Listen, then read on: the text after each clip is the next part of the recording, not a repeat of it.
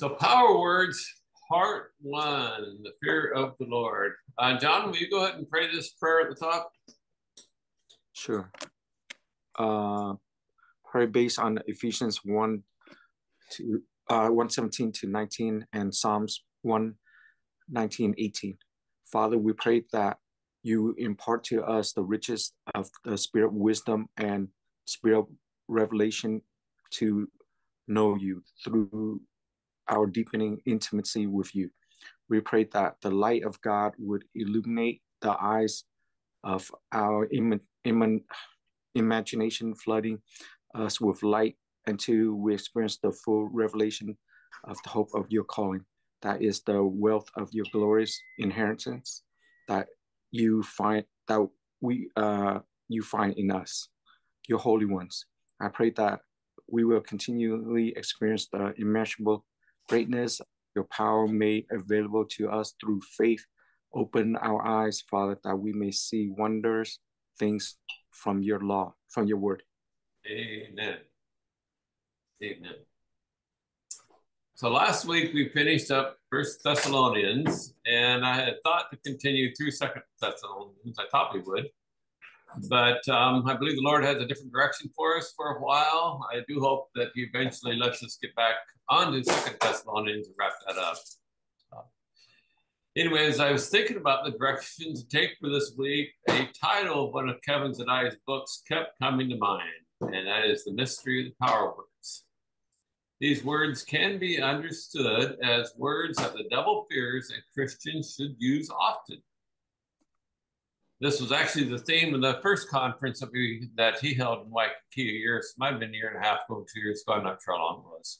Anyway, um, I expect that this series will be several weeks long, and um, some of the general order of this series is inspired by Kevin Zadai in that book. But I aim to hope to uh, minimize direct quotes from him, and any any direct quotes, oh, I will um, make sure to notate. I'll try to anyway. Sometimes I forget. Oh, I went too far.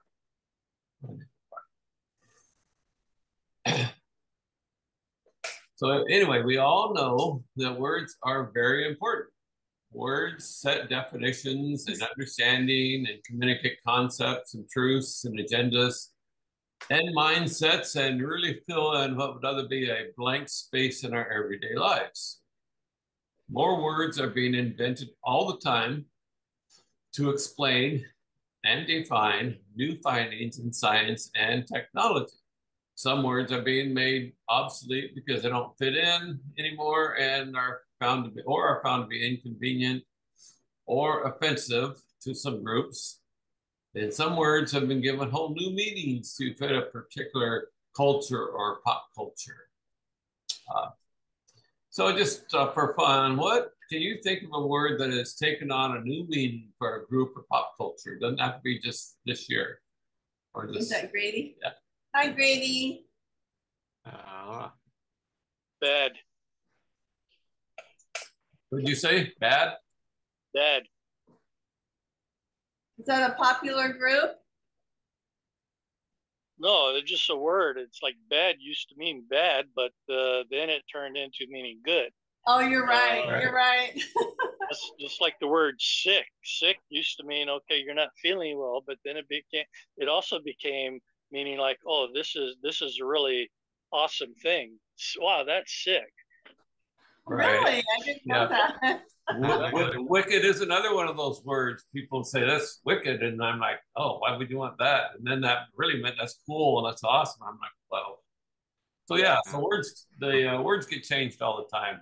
Um, we used to use the word cool all the time but it didn't mean that it was cold outside it meant that it was cool. You know?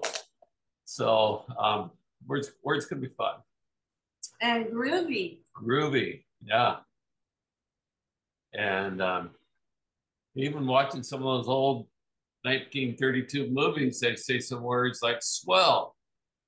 Uh-huh. And uh, well, I remember, you know, when I was a kid watching some of the black and whites with the Dennis the Menace or whoever, they would word, use the word swell quite a bit. And I think they even did in the Happy Days, maybe. So anyway, the swell doesn't mean that it's really cool. Uh, originally, it means like a swell in the water, whatever. So anyway, um, words are fun, can be pretty cool, and can be not pretty cool.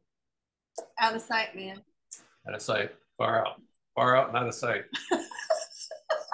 you know what generation we grew up in. Seven. The 70s. so in the Bible, there are certain power words or combinations of words that are full of potential energy or power that when spoken in faith have tremendous kinetic energy. I don't know why I use those words, but I did. Have tremendous kinetic energy or power that makes things happen. These are words that, when spoken in faith and intent, destroy the enemy's strongholds in people's hearts and minds.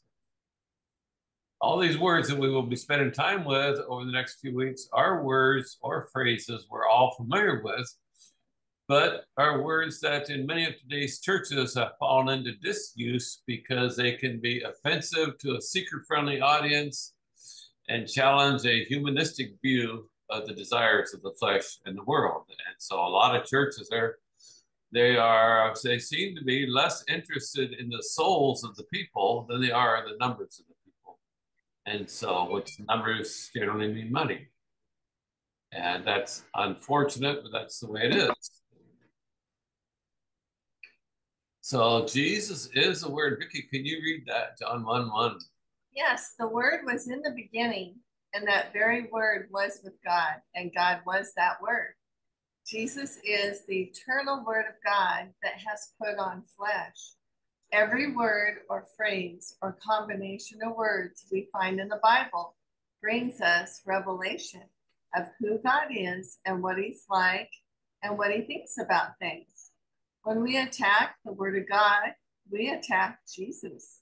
When we decide it is inconvenient to use certain words and phrases out of the Bible, then we have decided that certain aspects of God are inconvenient and so are better left unsaid so as not to offend or challenge anyone. Amen. Wow. That a mouthful?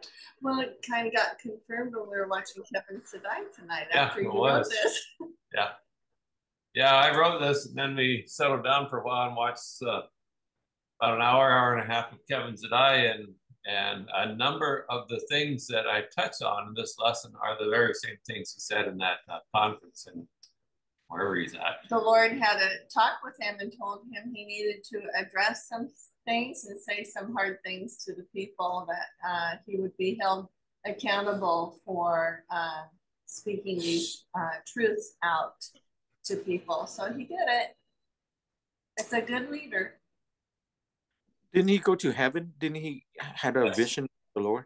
Yeah, he died on the died in oral surgery. Oh. And was gone for 45 minutes, 43 or 45 minutes. Wow. So uh, if you haven't read any of his stuff or listened to him, I encourage you to. He brings a lot of um, lot of uh, understanding, a lot of fresh revelation. He uh, really has a way of of uh, dismantling some of the attitudes and mindsets people have just because they have them. And so I really appreciate uh, what he's what he's got to say. And uh, you know, the Lord is blessing him, right? What Paul said. Okay. I, I listen to him uh, sometimes on um, YouTube. Okay. Yeah, it's good. And um, he's come to Honolulu a couple times. We've gone to a couple conferences with him here. Oh, nice. And the presence of the Lord is amazing. Nice. It's really, really nice meetings.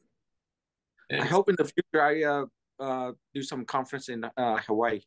Yeah, absolutely. Uh, okay. Um, only uh, dream, right? Susie, can you read this uh, next little bit? Under some words are hard to understand. Admittedly, some words and phrases and concepts we find in the Bible that can be difficult to wrap our minds around, but that is intent for Jesus and said in John 6 6 3. It is a spirit that gives life. The body is of no account. The words which I have spoken to you are spirit and life. Amen. And then Mary Lou, can you read these two verses under what Paul and Paul says? And Paul says in First Corinthians 2 13 and 14, and this is what we speak, not in words taught by human wisdom, but in words taught by the Spirit, expressing spiritual truth in spiritual words. The natural man does not accept the things that come from the Spirit of God, for they are foolishness to him, and he cannot understand him because they are spiritually discerned. Amen. Thank you, Mary Lou. So the Spirit gives understanding. The Word of God is meant to be understood by the inner man of the heart, by the spirit of man first, then by the natural mind, as our natural man, as our souls or minds are transformed. Jesus and the religious leaders of the day were at odds on almost everything. The religious leaders took the word of God at face value and then added their own twists and extra laws to keep the people under their thumbs. And then Jesus comes along bringing the truth, the intent of the word of God, and brings people life and freedom. Paul tells us in 2 Corinthians 3 6 that the letter kills, but the spirit gives life. The very same word of God that brings condemnation and death when viewed through the lens of the natural man brings life when viewed through the lens of the spirit who inspired it. These power words are words that might appear to be out of touch with today's world or offensive to some or don't fit our contemporary view of Christianity. The temptation is to ignore and not talk about or use the words that make us uncomfortable or that we don't grasp easily. But those are the very words we need to meditate on and let the Spirit of God, who is our teacher, bring us revelation into these truths. So, question Who brings life through the Word? Holy Spirit. It's the Holy Spirit, right? Holy Spirit is the one that brings life. And, um, you know, I've said this before, but but when I read the word, I mean, I'm reading stuff that I've read dozens and hundreds of times, and some maybe even more than that over the years. And I'm reading this stuff, and it's like, this is good. This is so good. I mean, it's just like fresh. It's like fresh manna, fresh, fresh bread. As I'm reading this, I'm seeing stuff I didn't see before, or, or if I saw it before, you know, it didn't sink real deep. Now when I'm reading, I'm going, oh my gosh, this is good. Thank you, Jesus right? Because it's the Spirit of God that's talking to me um, about His Word, about what He's saying, about His intent in the Word of God. Oh, can I ask you? Um, the uh, you were reading said the the letter kills, but the Spirit gives life. Is that talking about the the letter or the the Word of God? Yes. When it's the law, it's um the written word and the, and the law has no life in it. But when you have the Holy Spirit be your teacher and um, give you revelation about the word, then that's what makes it the living word. That's what makes it come alive for you. Okay. Because when you do just the word without the spirit, mm-hmm. um, it can bring a lot of uh, condemnation and hopelessness to people. So you have to have the word and the spirit. Okay. Because I always thought the word of God is life. I didn't think it would kill. Right, but uh, we all we've probably all been there, either probably on the receiving end and on the uh, delivering end of clubbing people over the head with the word of God, bringing condemnation. Oh yeah, yeah. right, which is bringing death where that same word, when it's under the unction of the Holy Spirit, will bring life and peace and freedom. So it's like the Dead Sea and the Dead Sea Scrolls, and uh, the Dead Sea um, doesn't have a place for the water to run out, and so it just gets saltier and saltier and saltier, and no fish can live in it or anything and that's why they call the Dead Sea Scrolls the Dead Sea Scrolls because that's where they found them in that area. But you get uh, running water, the river of God, where the water is fresh and flowing. then there's life in it and there's fish in it. And uh, and so you have to have the living water, like Jesus talked about at the well with the woman in the New Testament. He said, You should have asked me for a drink, and I would have given you living water, and you would have never thirst again, because it'd be a wellspring inside of her continuously. So we have to have the word and the spirit, so the spirit can teach us about the word. Amen. Good word, Vicky. So the fear of the Lord is the beginning of wisdom. So the first of the power words we're going to look at is the fear of the Lord. The mention of the fear of the Lord or the fear of God is found close to 170 times, more or less 170 times throughout the Bible um, by dozens of writers. It's not all just one or two writers, it's by dozens of writers, many of the books. The Bible tells us that a matter can be established by two or three witnesses. So, for a subject to be covered by dozens of witnesses means that it is of utmost importance. And we'll just show a few verses by several different authors. Um, Todd, can you go ahead and, and uh, I guess go ahead and read down to Revelation from uh, Solomon here down to Revelation, down to John Revelation here. Okay, Solomon wrote Proverbs 9:10. The fear of the Lord is the beginning of wisdom, and the knowledge of the Holy One is understanding. In Psalms 19:9, David wrote, "The fear of the Lord is pure, enduring forever. The judgments of the Lord are true, being altogether righteous." In Luke 12:4, Jesus said, "I tell you, my friends, do not be afraid of those who kill the body. And after that, and and after that can do no more. And all and Luke 12, 5, but I will show you whom you should fear. Fear the one who, after you have been killed, has authority to throw you into hell. Yes, I tell you, fear him. And Luke in Acts 9:31 says when the church throughout Judea, Galilee, and Samaria experienced a time of peace, it grew in strength and numbers, living in the fear of the Lord and the encouragement of the Holy Spirit. John wrote in Revelation 19:5, then a voice came from the throne saying, "Praise our God, all you who serve him, and those who fear him small and great alike. Thank you, Todd. So there are there are literally dozens of scriptures uh, telling us to fear God and fear the Lord and talking about the fear of the Lord. I mean, there's many, many, many scriptures in there. It's not a new concept, and and but it's an eternal concept. Um, people have tried to explain away what the fear of love is, fear of the Lord is because they want a nice God. They want a God they can take or leave. They want a God that they can believe or not believe. And they want a God that they can trust or not trust.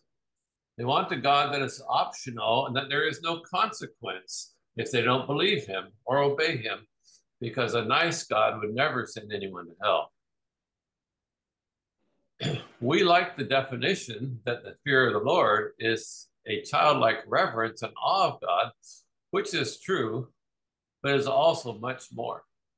The fear of the Lord also has to do with terror or that which causes flight or fleeing from his presence. And I didn't pull up all those scriptures, but you know, we have we have scriptures that says that the the mountains will melt before the presence of the Lord and the earth trembles at the presence of the Lord. And so if we really if we really got too close to the to the the whole of who God is, not just the you know experience with Jesus and the Holy Spirit, but if we really got too close to the to the reality of of you know the wholeness of God, we would be baked. We would be turned to dust. We could never, never, never, in our own selves, in our own strength, in our own goodness, uh, stand in that. And the only way that we can stand before the Lord is, is by virtue of the blood of the cross. and our in our commitment to the to the Lord Jesus Christ, right? Uh, Pastor, also the fear of the Lord means you obey Him. Right? The fear of the Lord is to hate evil. When you fear Him, you obey Him. Yes. Yes. And yeah, and okay. and we have, yeah, and we have the same holiness inside us. Yes. We have the holiness from Him. And in Isaiah 11, 2, it talks about the seven spirits of God. And the one, the last one listed is the spirit of the spirit fear of, of the, Lord. Lord. The spirit yeah. of the fear of the Lord. So it's it's a very, very basic, very basic part of God. But but a lot of places never talk about the fear of the Lord, and I don't know. Yeah. When I've actually heard a sermon, other than Kevin's, that I touch on it. Um, I don't know when I've actually heard a sermon or the preacher's been preaching on the fear of the Lord. Yeah. You know, so it's not a popular subject because it makes people squirm and it makes people uncomfortable, right? You know, God straightened me out uh, when I was 18 and a half about fearing Him because I was very disrespectful to Him. I had become born again and baptized in the Holy Spirit at 16, and I was still in high school. And it came a time where I wanted to go party with my friends again. So I actually said to the Lord out loud, I said, um, I'm going to go do my own thing for a while and I'll get back to you later. wow. I mean, no fear of God at all. But everything I did, uh, I hit a brick wall. You know, nothing was going well at all so after a while, I I decided, you know, I, I just need to go back to the Lord. Mm. So I started to pray, read my Bible, and you know, it was like my prayers were hitting the ceiling and not getting through. And I had had a connection with God, you know. When I got saved and baptized in the Holy Spirit, it was an amazingly real thing that uh, just lit up my world, you know and I was connected to him and I could hear him and I had fellowship with him, but I couldn't uh, I couldn't break through a barrier. And so I read some scriptures like uh, it's a dreadful thing to fall in the into the hands of the living God and uh, you could taste uh, the good things of the Lord, and then there's no more sacrifice for sins if you tasted the good things of the Lord and walked away. And I'm like, oh my God, I crossed the line. Mm. I am out of the picture. He's not taking me back, and I'm just going to end up in hell someday. Mm-hmm. And I kept praying and uh, reading my Bible, and it really did take two months. And then I got breakthrough, and I felt His Spirit inside me again. Mm. And I said, Lord, why did you take so long? And He said, because I'm holy and you treated me as an unholy thing. Mm. And that really, uh, I, I, I, took them very seriously and I'm never backslidden again since I was 18 and a half. and I'm 68 now. wow, that's amazing. Yeah. Uh, you know, um, I, I know church that I used to go to, they don't fear the Lord. They treat him as a genie you have three wishes what do you want like to like I, come to him for blessing lord i need this lord i need that i need this and that's that's it they they go their way they do what they want so there's no fear there and the fear of the lord is to hate evil right? If we don't hate evil that means we don't fear him right? That's a good point. Thank you for bringing that up. Yeah. Some people um they fear god and they refer to you know fear itself you know that you know more often for me i think it's more like a sense of awe or submission to god.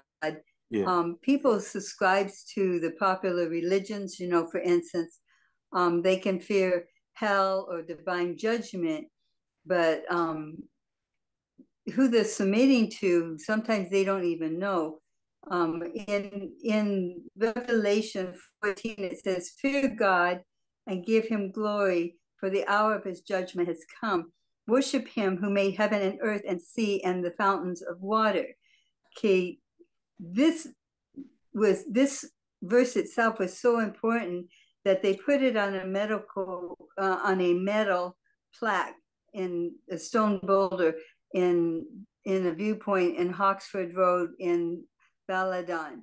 And you know, so sometimes I think people look at God in fearing him, but they use him as a show shopping list. You know, he's right. I want this, I want that. You know, he's a grocery store.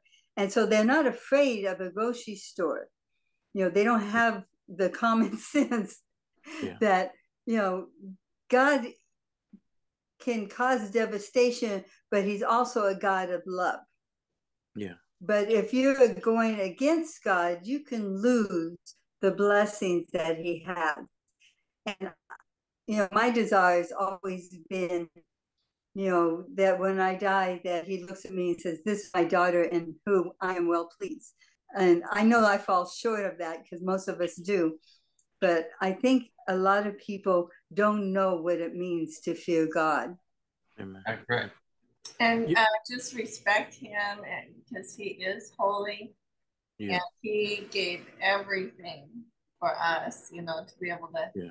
be yeah. forgiven and have a relationship with him and have eternal life. And we really need to give him the honor and yeah. the glory and the respect uh, that he deserves. You know, and it has been my heart since that time that people would recognize Jesus for who he is and what he's done and give him that honor and recognition of who he is. I really want people to know him and to give him glory for what he's Amen. done. Amen. You know, a lot of us work for for um, people or work for big big businesses, and you would not think if you if you valued your job at all, you would never think to disrespect the president of the company that decided to come do a walkthrough and, and see how things are doing in the plant or the business. Yeah. You would never want to, you would want to um, be honorable and respectful yeah. and all that. You would never think of of uh, just kind of, well, whatever. I don't, I don't, I don't really respect them. I don't care who you are because, because, um, you know, whatever. You never do that um, for fear of losing your job. But we just people we disrespect God all the time, and of course we're not walking. Uh, we're not on a razor edge, walking a tightrope with the Lord. But at the same time, um, you know, and I touch on this a little bit this next section here. Familiarity breeds contempt. So Lucifer, we've all heard the phrase "familiarity breeds contempt." I think so Lucifer was the covering cherub. He was one of the highest, if not the highest, ranking being in heaven. But he lost the fear of the Lord and aspired to replace him. And he led a rebellion, and consequently, he lost his position in heaven. Adam and Eve walked with God in the Garden of Eden, Eden, and then lost the fear of the Lord and disobeyed the only command they ever given, and consequently, they lost everything. Many people today view God as their main man or their best friend and the like, and which he is. Holy Spirit is our best friend, right? But he's so much more. The sense of familiarity without maintaining the fear of the Lord opens us up to all sorts of trouble and an attitude that leads to believing obedience is optional. That's where you were talking about earlier, John, is, is a fear, uh, obedience is the fear of the Lord is obedience or something like that, right? Obedience to the Lord is not optional. When the Lord tells us to do something, we best do it, right? Um, Grady, could you go ahead and read these about with the price, these two verses? First Corinthians 6, 19 and 20. Do you not know that your body is a temple of the Holy Spirit who is in you, whom you have received from God? You are not your own. You were bought at a price. Therefore, glorify God with your body. Thank you, Grady. So, what was the price? His life. The blood of Jesus Christ, right? Blood. The life blood of Jesus Christ was the price paid for us. So when we took Jesus as our Lord and Savior, we gave him our lives. We said, Lord, I, I you know, I, ask you to be my Lord, my Savior. So everything in us became his. And at the same time, we inherited everything that God is. Right?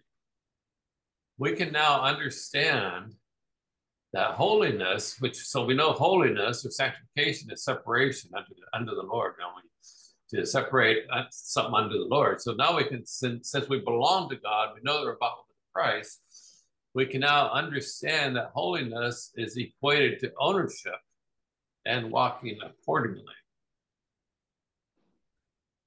Right. So, so if if uh, if I belong to God, and to walk in holiness as he owns me to walk in holiness is going to be walk in, walking in a way that honors him. Our lives are not our own so we now live separated from the dictates and demands of the world from which we have come out of. Without holiness bible says no one will see god.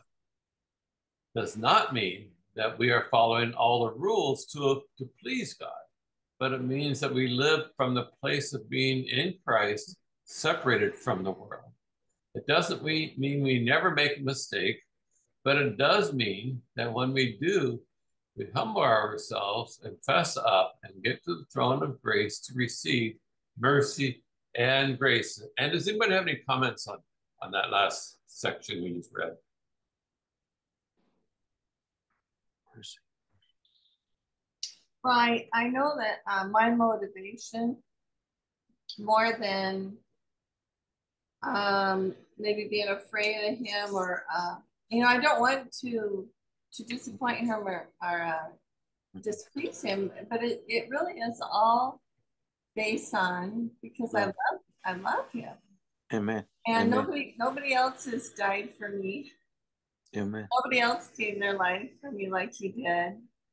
And um, so I, I, you know, he says uh, in First Corinthians 13, if we do all these things, but we don't do them out of love, it's for nothing.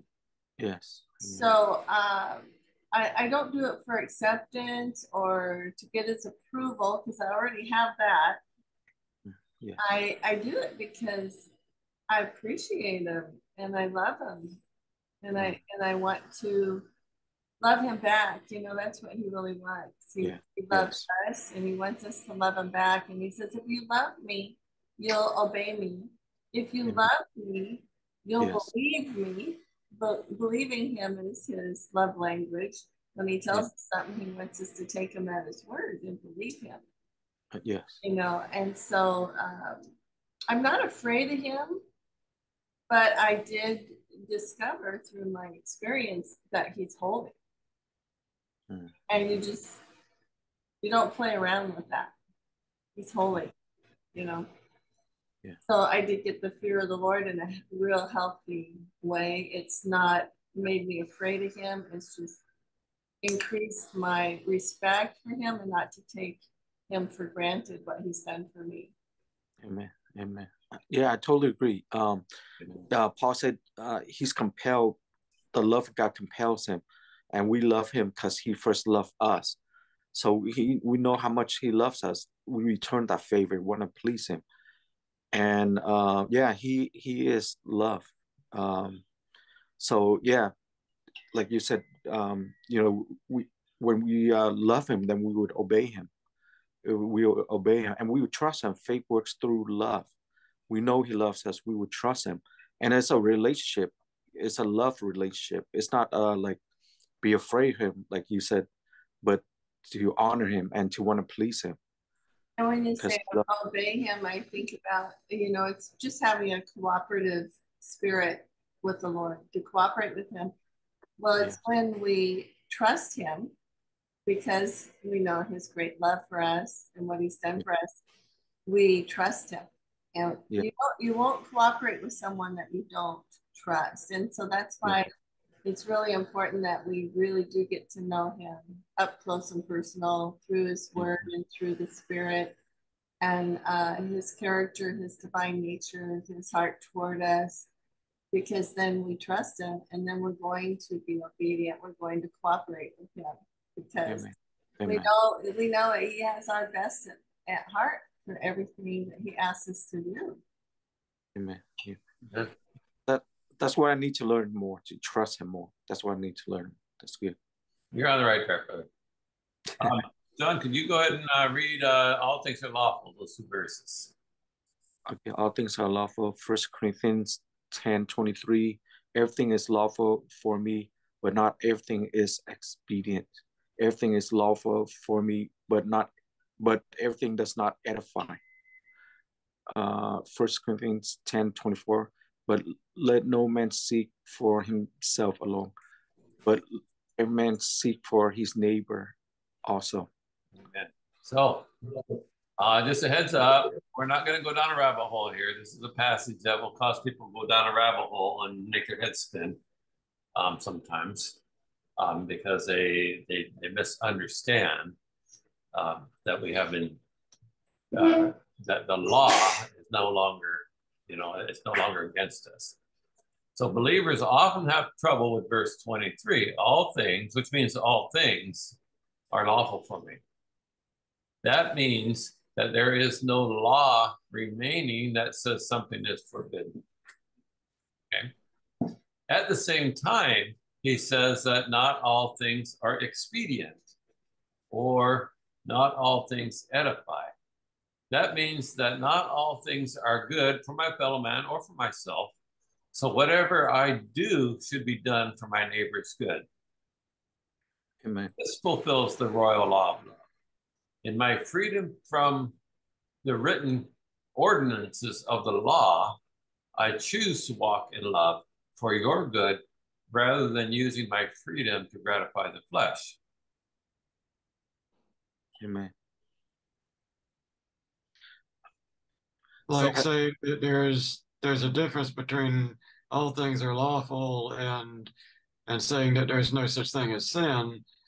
Yeah. That sin is it's like if one sins, it's not the old law condemning you. It's it's still a sin, but it's the consequences being separated from God rather than because the old law said so. Right. So that so, so the old the old code is not held against us. Now the laws are laws of God are written on written on our hearts, right? They're written in our hearts. Yeah. But um, so my question on this um, is how does the fear of the Lord apply in this section we just read here?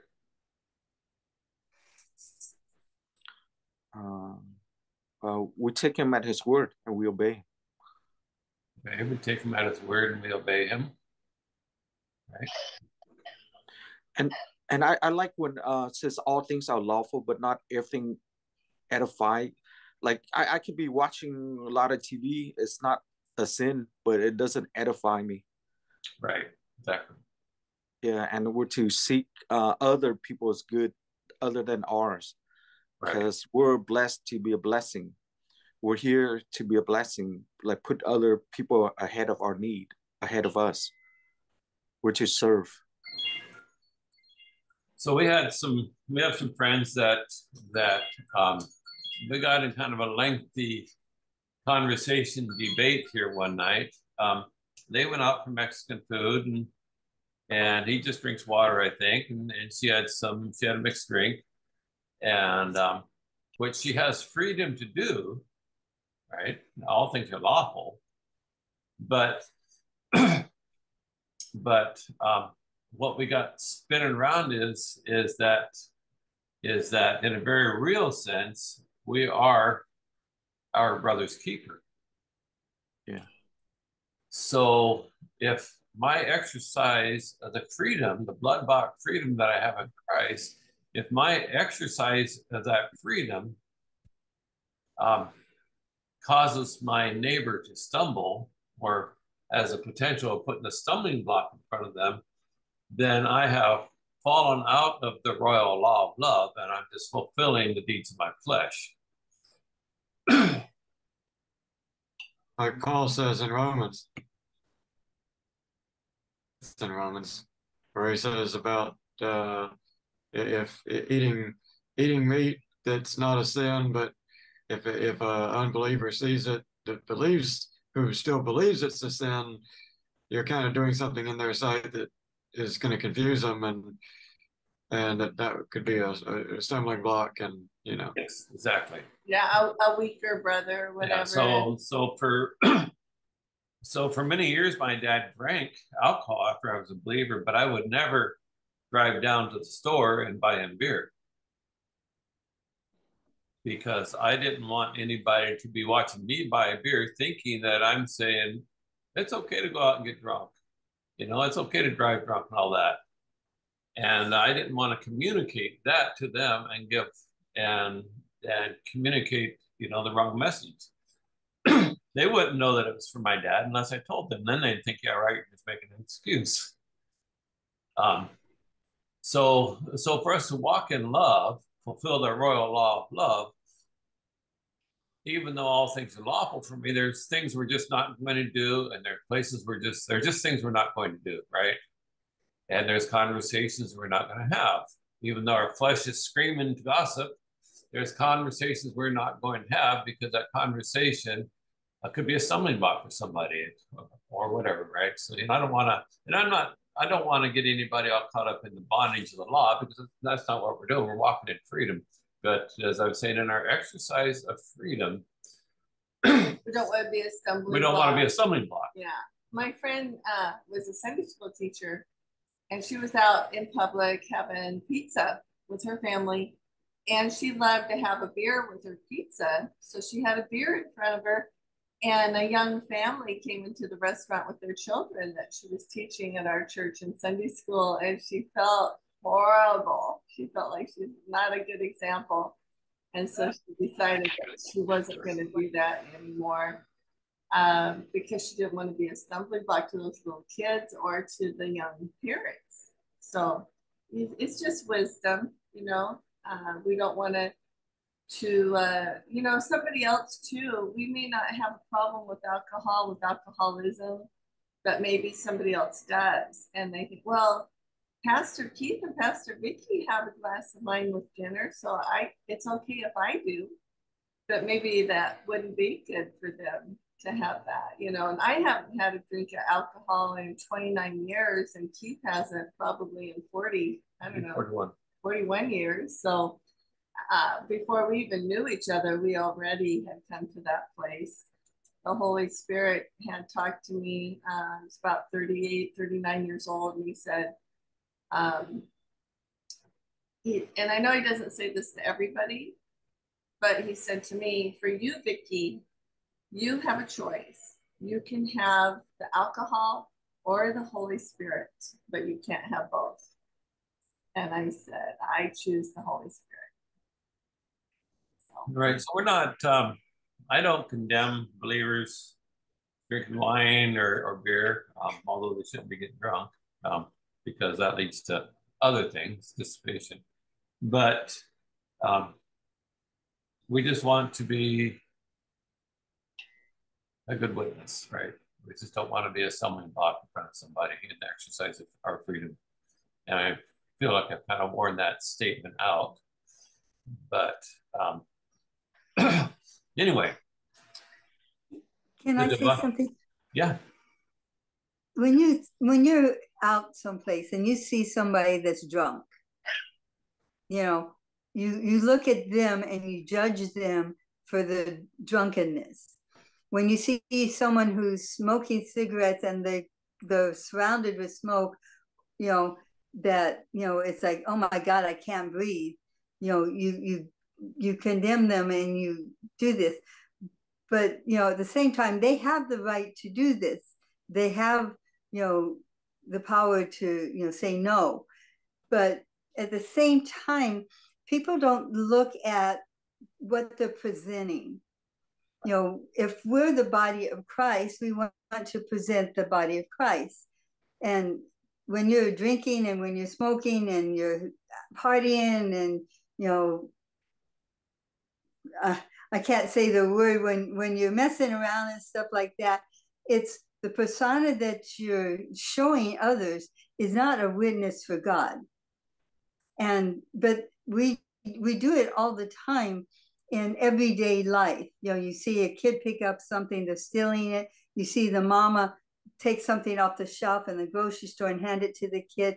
I see this all the time. It's the walk of life that they're not doing, meaning that they don't have the life of God within them. Right. They've chosen this. They don't have the godliness.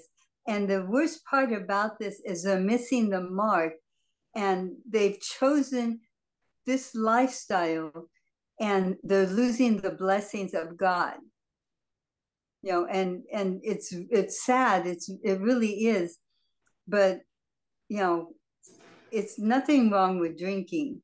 God, you know, made water into wine, but it's the drunkenness and it's the lifestyle. It's what your people are perceiving and what you're showing the world.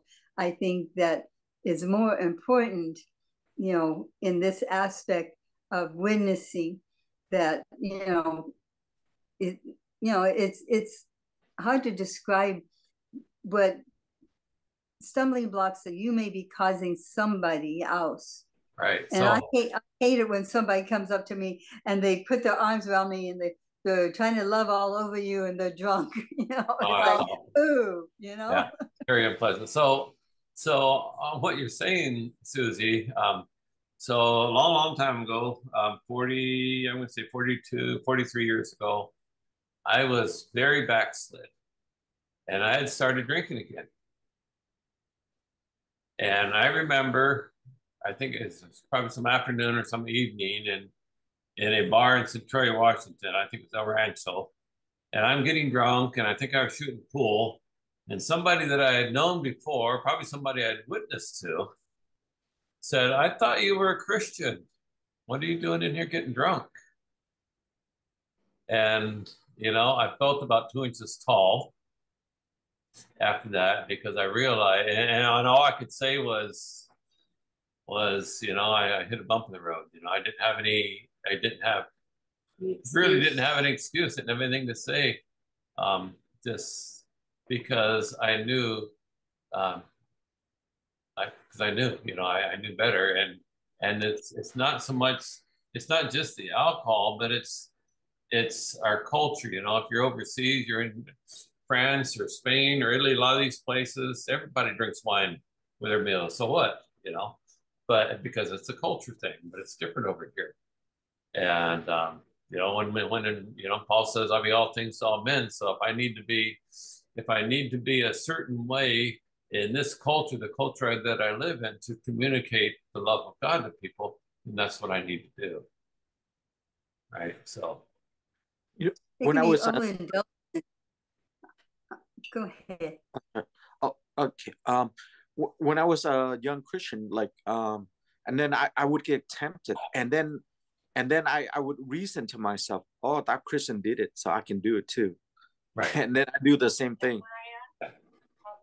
And uh, I, I forgot what I did, but but I I remember, you know, I reasoned to myself, oh, that, that guy, he's a longer Christian than I than I I've been. He, he does it, so I- I can do that, that too. When I was tempted, you know, when I was young Christian, Right. so it, it does it does count. You know Yeah. how how you live your life, to other people. All right. So moving. Hi, there's Cookie. Oh, hi, Joanne. Joanna. Welcome, Joanna. Hey there.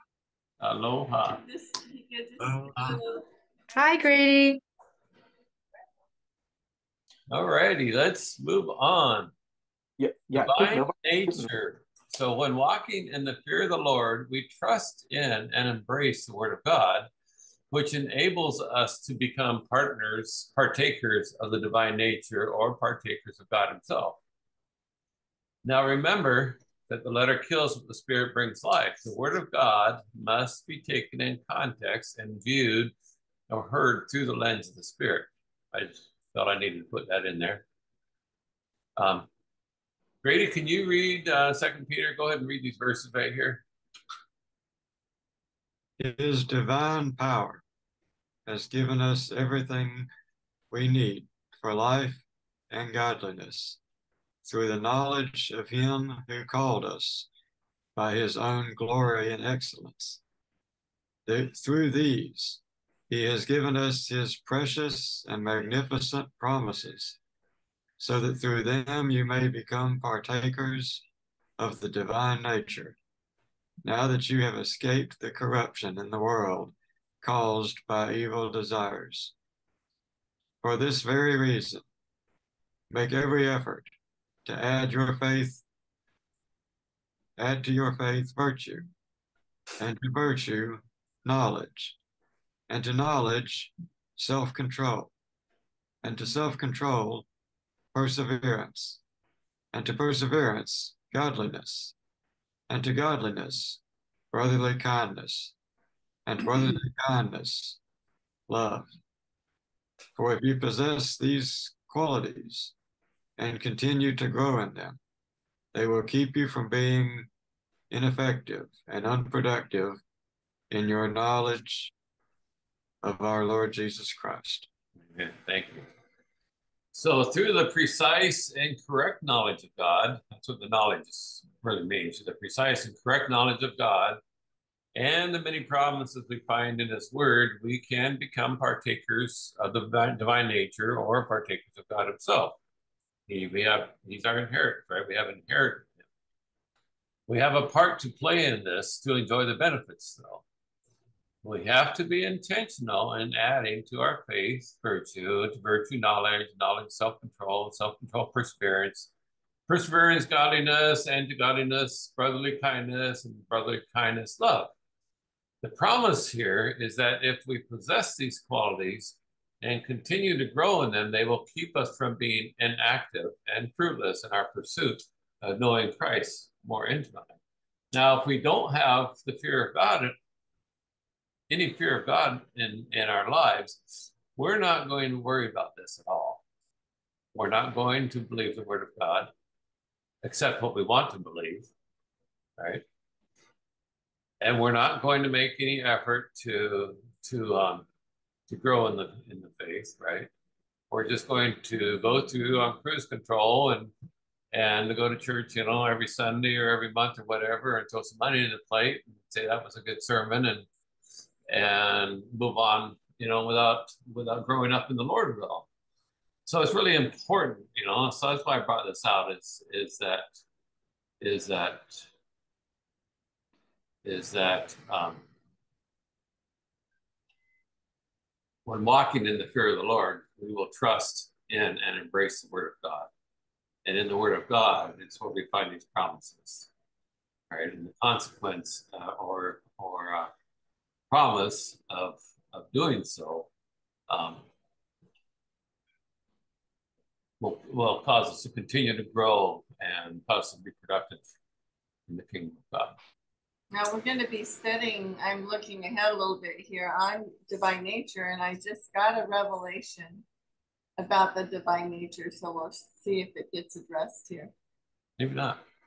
If We're getting close to it. Let, us share it. I, I, will, share. I will. I will share it, but I wanted to see if we would read it first. So, the, so, so my question here is: How do we partake of the divine nature?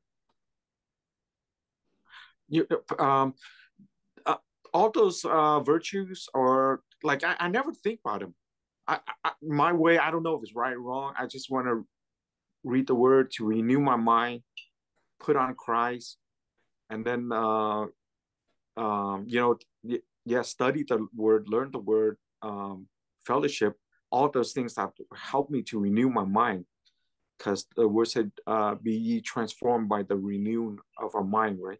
So I, really, I, I never think about all these virtues. I don't even know what, what, what some of means. I just try to renew my mind, try to put on Christ, grow that way. I don't know. It's not the right way to do, or well, I think as as you know, as we grow in understanding of the Word and uh, of God's heart and of His will for our lives, this stuff just comes along. Mm. If we're walking in the spirit, this stuff will come along and we'll embrace it. Yeah. Right. But if we if we reject self-control, say I'm going to do my own thing, right? Yeah. Then it's a different story. If we reject, if we think that we already know it all and then nobody can teach us anymore, we'll never, you know, of course, you can't do that and walk in the spirit at the same time. Yeah. So the question was, how do we partake of the divine nature? Seek God. Okay. Stay tuned into his word. Yeah, yeah, get his word and renew renew your mind. All right, so what does it say right here? He says, through these, and he's talking about what we just read up here divine power, life, godliness, knowledge of him. Through these, he has given us his precious and magnificent promises, so that by them, I mean, by these precious and magnificent promises, we can become partakers of the divine nature. So if we don't know what the word says, if we don't understand the promises of God, if we don't know any of that stuff, then we're going to have trouble walking according to the divine nature, walking according to um, according to God, really, right? And so if you don't know that it's God's disposition to heal the sick, and it's God's disposition for you to to be well, um, because you don't either don't believe the word or you've never seen it in the word, then you're going to have a little trouble walking in that part of the divine nature. So it says uh, Second Peter one, His divine power has given us everything we need for life and godliness through the knowledge of Him who called us by His own glory and excellence. So I'm seeing in that verse, it's His divine power that enables me to um, have everything I need for life and godliness through the knowledge of Him. So God's the one that empowers me to to be those things, not my own striving or my own strength, because I'm I'm not the source of goodness. God is the source of goodness, and so the um, revelation I got was the I've had this desire lately to meditate and study about God's character and his goodness and his divine nature. And the Lord showed me as I've been looking into his heart and looking at that and learning about him and his goodness and his character, it has been rubbing off on me and so it wasn't anything that I was making happen, but because I was learning, it says in that scripture about the knowledge. It says, uh, His divine power has given us everything we need for life and godliness through the knowledge of Him who called us by His own glory and excellence. So I'm learning about His character. And while I'm diving into that, it's rubbing off on me. And the reason I know that is because of the comments I've been getting from people lately. And what, you know, they don't even know each other or what each other, what the other one has said, but I'm hearing it from people here and there. And they're seeing something in me, in, in the spirit. And they're seeing more more of God and more wisdom coming out of my mouth. And and I think it's because I'm studying God's heart and his character and his divine nature and and um, I'm eating, I'm eating that, meditating on that goodness of him. Well, he says that we're one with Christ and Christ is in us, and that as Christ was, as Christ is, so are we in the world. And so um, when uh, when people see us, we want them to see the Father. You know, and there was a, a place in the Bible where they, they said that they spent some time with some men and they could tell he'd been with Jesus. You know, Peter they could tell that they'd been hanging out with Jesus because you got Jesus's divine nature on them. Amen. So it's through that deep calls unto deep, that deep fellowship and learning uh, who God is and who we are in Him that it just starts to manifest in our lives. Amen. That's a good word. Uh, and uh, the word says, uh, as we behold his glory in a mirror, we would change from glory to glory, right? Amen. And uh, yeah, that's that's my highest desire. Like, uh, I want people to see Christ in me. His, the word said, "Put on Christ and no make no provision for the flesh." We're to put off the old man, put on the new man. How how long did it take for you to uh, change like that? to when you study his nature, and then how uh, How long, people how long did it take me to change? Yeah, w- w- people see the change. Years. did- I, I was hoping you said I don't know how long have you heard me talking like that, that I've been studying his divine nature just the last couple of This months, is right? us, yeah. Yeah. So the last couple of months I've been focusing on that quite a bit. Okay. You know, Okay, I think I was when we starting feed on something, an aspect of the Lord, and we just keep feeding on him, you know, it's, man shall not live by bread alone, but by every word that proceeds out of the mouth of God. So when we feed on feed on the word of God, feed on certain aspects of the character of God or the nature of God, um, there there is a coming reward. The Bible says that God is a rewarder of those who diligently seek Him. So as we're, if all we do is seek the Lord concerning um, concerning prosperity, then I know we're going to get a lot of faith and understanding and prosperity. But if we really want to know the Lord and to seek Him for for Him, Yeah. who He is and His love and all that, and we just keep feeding on that and seeking that, which Vicky's been doing um, a lot, then that's going to be her reward. And so it's the stuff that people are seeing, uh, you know, they're, it's like their eyes are being opened uh, to uh, some of the things that's going on in Vicky in the spirit. Um, this is all basically reward or, or evidence of her seeking the Lord. So it's really good for all of us to, to really seek the Lord, just seek Yeah. the Lord. And I don't want to do, I, Paul says, I want to know him and the power of his resurrection and the fellowship of the sufferings. I want to know the Lord. I want to, Amen. you know, I want to, I want to feel his heartbeat and I want to know what he, what he thinks about things. And I want to understand, you know, I want to understand his ways. And I don't, I don't want to just have the hand of the Lord. I don't want to just have, Yeah. Yeah. you know, provision. I don't want to just have a house to live in and food to eat, but I want the Lord. You know, I want to know. Yeah. Amen.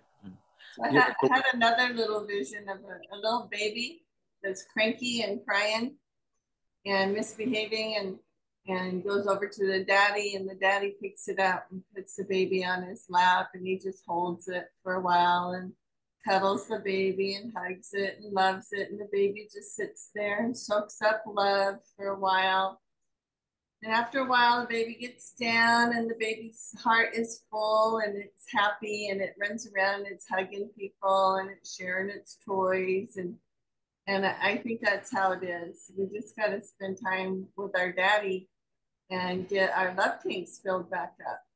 And then we've got, you know, love to give. Amen. Amen. The, and the word says, seek his face always in Psalms, right? Seek his face always. Yes. We seek him, all these things be added unto us, not not the things. Seeking first the kingdom of God, Yeah. His righteousness, and Yeah. all these things, all these things that we need will be added unto us, right? Yeah. And as you were saying, Pastor Keith, so like we seek his face, not his hand. A lot of people like at church, they seek his hand. Yeah. Lord bless me, do this for me, bless. But they don't, they don't seek his face. They don't seek his will. They only seek his hand. What he can do for them. So the beginning of all that the Lord has for us to walk in, the beginning of it is the reverential awe and terror of the Lord, the fear of the Lord. There is so much more on this subject as we've just scratched the surface, right? We've just looked at a few verses, just barely scratched the surface. But I think we've covered enough here to give each of us reason to meditate on the importance of the fear of the Lord. You know, I think we've covered enough territory today that that through throughout the days to come that the fear of the Lord will come to mind and we'll meditate on that, think about it, and evaluate, I guess I could say, where we're at. Lord, am I walking in the fear of the Lord or am I being, am I just being nonchalant and, uh, and just cruising along, you know, without a thought? So, um, anyway, the Holy Spirit is our teacher. And as much as we are willing, He will open the Word up to us and continue to show us great and wonderful things. And He will cause us to know Him better every day. He's not going to force us, force that on us. He's not going to twist our arm. But as much as we're willing, we spend time with God, we spend time fellowshipping with the Holy Spirit, spend time in the Word, and having the Holy Spirit teach us, then uh, you know we're gonna we're going to understand God more and more. We're going to appreciate God more and more. Um, he will blow our minds sometimes with revelations that we go, "Wow, I never knew that." You know, all of a sudden He'll show us how. You know, we will be reading through the parables, and all of a sudden He'll show us some spiritual truths out of the parables that seem just like agricultural principles, and all of a sudden we've got like, "I get it, I get it, I get it." All right. So next week, I expect we'll do a brief review of the fear of the Lord and then move on to the next power word in this series, which is repentance. Repentance, repentance. is, you know, you don't hear too many churches talking about repentance, the need of repentance. But what did what did Peter say when the people said, Lord, uh, or was it the jailer, Paul, what must I do to be saved? He said, repent, right? Repent repent and turn to God. So um, without any, without repentance, uh, our salvation is really questionable. Uh, Todd, can you go ahead and read this last prayer for us, and then I'll stop sharing, stop recording, and we can just visit.